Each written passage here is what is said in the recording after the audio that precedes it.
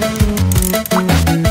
Welcome to Retro Arcade Reviews. My name is John, and in this episode, we will be reviewing the arcade classic Art of Fighting. Art of Fighting is a fight game that was created by SNK in 1992. Now, I remember walking into an arcade one day, and then I saw it, Art of Fighting. This game caught my eye immediately. I mean, the characters were huge in size, and then it did one of the most amazing things I've ever seen at the time. The game zoomed right into the action. Now, it may not be a big thing now, but back then, that thing blew my mind. So just imagine, the characters were huge, and it zoomed in when the characters engaged in close quarter combat. That was cool. And that wasn't the only thing. The characters also bruise up when they take damage, and you can also learn a super attack and improve your stats after completing the game's bonus rounds. So right off the bat, the game did a couple of things that was pretty innovative. However, as cool and innovative as it was, just like Fatal Fury, the game did not garner the same kind of crowd Street Fighter 2 did. It just did not have the same competitiveness that Street Fighter had because in hindsight, the early SNK fight games were more story oriented. It wasn't until like 1993 when Fatal Fury Special and Samurai Shodown was released in the arcades that the tide started to shift slowly towards SNK. And then when King of Fighters 94 came out, that was it. It was a sealed deal. SNK had made their permanent mark on the 2D fight genre with a renewed interest in the early SNK fight games like Fatal Fury and Art of Fighting. So the story goes is that someone kidnaps Ryo's sister Yuri. Ryo and his friend Robert Garcia must trek into the mean streets of Southtown,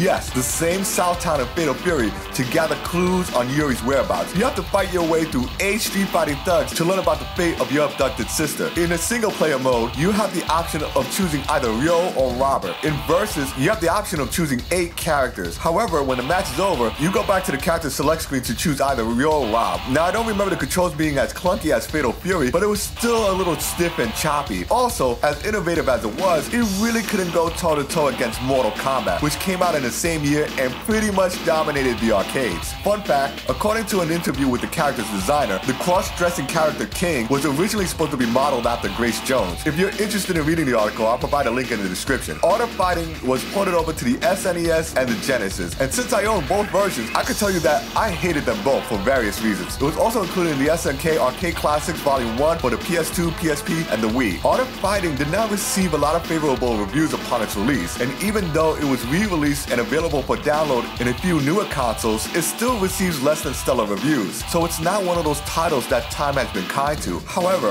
in the spirit of competition with other fight games, Art of Fighting pushed the boundaries and simply just presenting a cohesive narrative, which is really hard to do in an arcade game. That's why I cannot in good consciousness say anything overly negative about the early SNK games. They were just always looking for new ways to present the genre in all aspects. More so than I say Capcom did. If you're interested in this arcade classic, I say play the game and let me know what you think.